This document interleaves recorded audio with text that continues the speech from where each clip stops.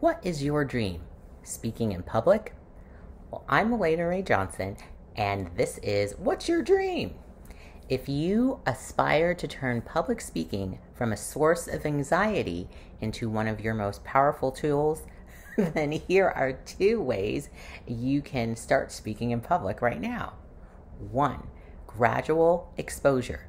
Start with smaller, low stakes speaking opportunities to build comfort, then gradually take on longer, larger stages, and maybe longer ones too.